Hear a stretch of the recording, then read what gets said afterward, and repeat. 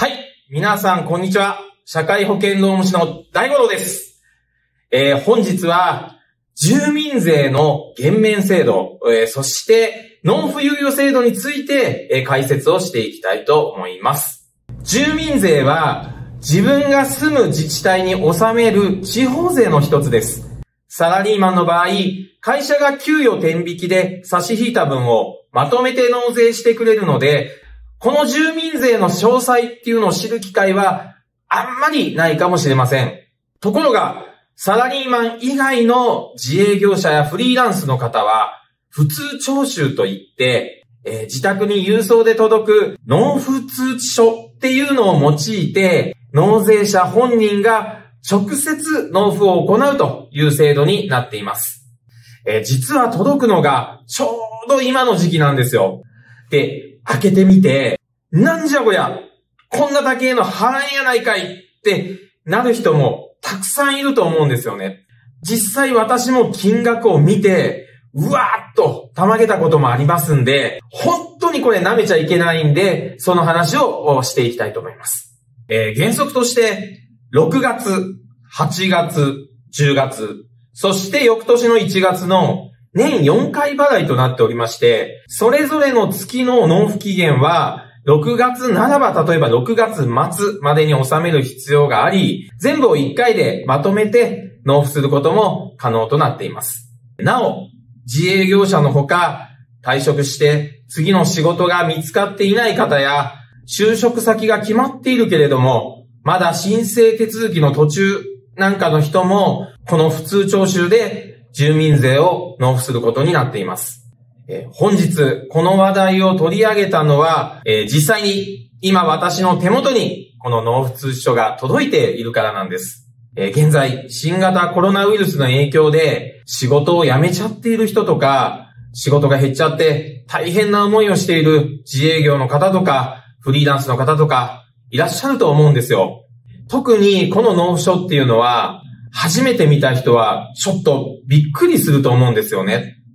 住民税っていくらぐらいかって言いますと、これまあざっくりとした金額なんですけど、だいたい年収300万円だと約12万円ほど、えー、年収400万円だと18万円。で、これが年収500万円ほどだと24万円くらいがだいたい年間の納める合計金額として、えー、6月に請求が来るんです。えー、大体収入に比例して、この住民税も上がっていきますんで、えー、年収100万円単位、えー、かける5万円くらいのイメージを、えー、私は持っています。えー、年収がだから600万円だと、まあ、6かける5万円の、だいたい30万円くらいですね。まあ、これを払わなくちゃいけなくなります。えー、で、この住民税の厄介なところっていうのは、えー、去年の収入に対する税金として、えー、かかってくるところなんですよ。なので、昨年の収入が多くて、えー、今年の収入は去年よりもガクンと下がってしまったという方なんかは、収入が下がっている上に、えー、高額な住民税の請求が来るんで、えー、要注意なんです。えたまに、大幅に年俸が下がった、えプロ野球の選手の話なんかが、えされているかと思います。はい。それでは本題に入ります。え私の友人のケースだと、新型コロナウイルスの影響もあって、え会社が倒産、え失業してしまったこともあり、え所得がゼロになってしまいました。えしかし、住民税の減免制度っていうのを利用することで、約5万円が減免になりました。この減免制度は、各自治体によっても異なりますし、必要の場合、自己都合か、会社都合か、退職した理由が問われることもあります。皆さんのお住まいの地域の自治体に、まずは確認していただきたいと思います。加えて、今の収入が減ってしまっている場合なんですが、その金額をもとに来年の3月に確定申告をしておけば、その次の来年の6月ですね、ここで送られてくる住民税が大幅に、減額されることにもなります。また、失業してしまったり、え無職になってしまったりして、今年の収入がもう本当にゼロに近いような額になってしまった場合には、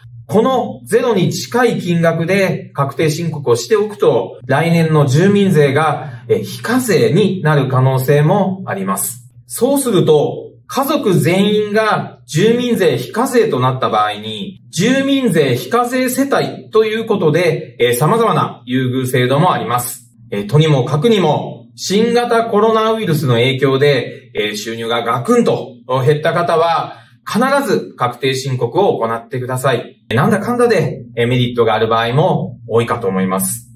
繰り返し申し上げますが、減免制度は各自治体によって異なりますので、えー、注意が必要です。手厚いところもあれば、ない自治体もございます。えー、私が住んでいるところは、えー、福岡市なんですけれども、この減免制度はあります。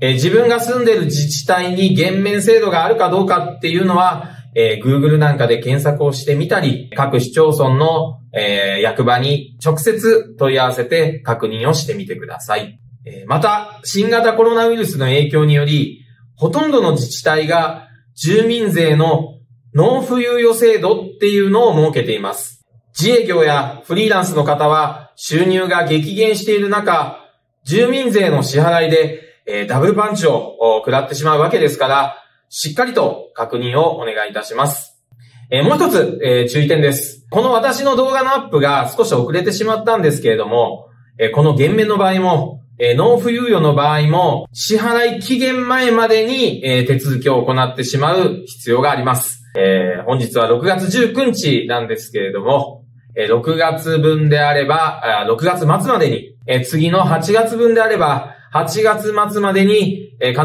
ず手続きを完了しておく必要がありますので、え、早急にご確認をお願いいたします。はい、え、それでは本日の動画の内容をまとめます。自営業者やフリーランスの方、失業中の方などには、普通徴収といって、えー、住民税の納付通知書っていうのが6月に届きます。えー、支払いは4回。えー、6月と8月、10月、そして来年の1月。え、これを一括で支払うこともできます。え、昨年の所得をベースにしており、え、それで納める金額が決定されているんで、思いがけない高額な金額に驚いてしまう場合もあります。現在、新型コロナウイルスの影響により、売上が激減してしまっている人、仕事を失ってしまったりしている人は、住民税の減免制度、そして納付猶予制度がございます。住んでいる地域の自治体によって、この制度内容が異なっていたり、制度そのものがなかったりする場合もありますので、しっかりと確認をお願いします。住民税の減免制度、納付猶予制度は、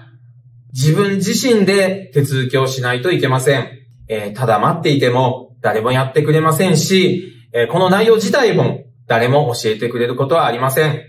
6月については6月末、